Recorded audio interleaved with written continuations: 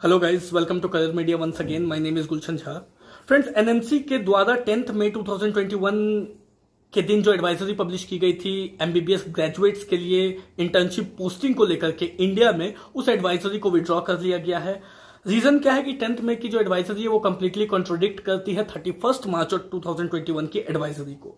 Thirty first मार्च 2021 की जो advisory publish की गई थी एनएमसी की तरफ़ से इंटर्नशिप पोस्टिंग इन इंडिया को लेकर के, उसके अकॉर्डिंग क्या थी कि अगर एनएमसी अप्रूव्ड कॉलेज से स्टूडेंट अपनी एमबीबीएस की जो ग्रेजुएशन है, उसे कंप्लीट करते हैं तो इंटर्नशिप वो किसी भी दूसरे एनएमसी अप्रूव्ड मेडिकल कॉलेज से कर सकते हैं।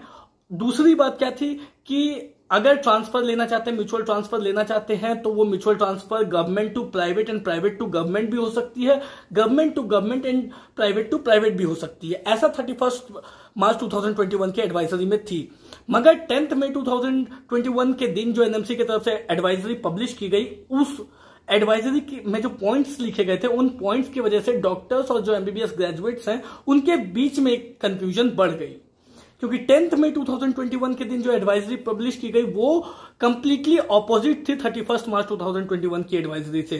टेंथ में 2021 की जो एडवाइजरी थी, उसमें क्या चीज़ें लिखी गई थी कि एमबीबीएस स्टूडेंट को इंटर्नशिप उसी कॉलेज से करनी होगी, जहाँ से उन्होंने अपनी फाइनल एमबीबीएस पास की है। दूसरी पॉइंट क्या है कि म्यूचुअल ट्रांसफ़र पॉसिबल नहीं है अलाउड नहीं है। म्यूचुअल ट्रांसफ़र सिर्फ़ स्पेशल सर्कमस्टांसिस में ही अलाउड होंगे। तीसरी पॉइंट क्या थी कि म्यूचुअल ट्रांसफ़र अगर होती भी है तो इन दैट केस सिर्फ़ गवर्नमेंट टू गवर्नमेंट कॉलेज के बीच में होगी या तो प्राइवेट टू प्राइवेट कॉलेज के बीच में होगी गवर्नमेंट टू प्राइवेट या प्राइवेट टू गवर्नमेंट या वाइस वर्सा नहीं होगी।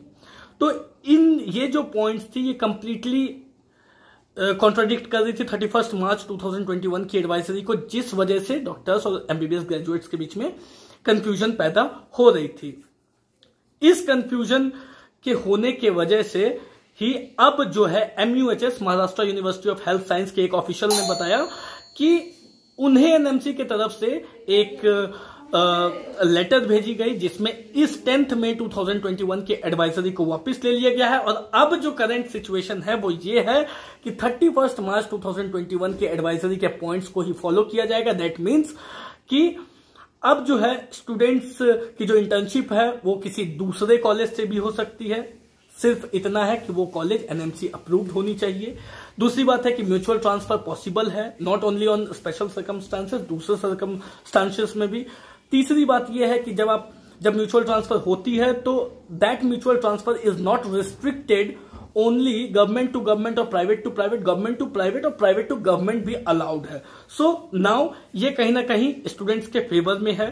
क्योंकि अभी फ़िलहाल जो कोविड की सिचुएशन है, जिस तरीके से कोविड के केसेस बढ़ रहे हैं और ज़्यादातर जो शॉर्टेज है डॉक्टर्स की, वो गवर्नमेंट कॉलेजेस गवर्नमेंट हॉस्पिटल्स में निकल के आ रहे हैं। गवर्नमेंट हॉस्पिटल्स में अभी बहुत ज़्यादा डॉक्टर्स की कमी है। उस डॉक्टर्स की कमी की पूर्ति के लिए एनएमसी को ये स्टेप लेना बहुत ज़रूरी भी था और ये बहुत अच्छा स्टेप लिया गया है, जिससे कि जो डॉक्टर्स हैं, वो एटलीस्ट अपने घर के नज़दीक, अपने घर के नज़दीक जो कॉलेजेस होंगे, जो हॉस्पिटल्स होंगे, जो कॉलेजेस होंगे, वहाँ पे अगर वो इंटर्नशिप करते हैं तो कहीं ना कहीं ये थोड़ी फेवरेबल स्टूडेंट्स के लिए रहेगी और ये डिसीज़न एनएमसी का बहुत अच्छा डिसीज़न है, जो स्टूडेंट्स के लिए लिया गया है। तो इस वीडियो में फ़िलहाल इतना ही। मिलते हैं नेक्स्ट वीडियो में कुछ और अपडेट्स के साथ। तब तक के लिए have a nice day thank you so much and all the best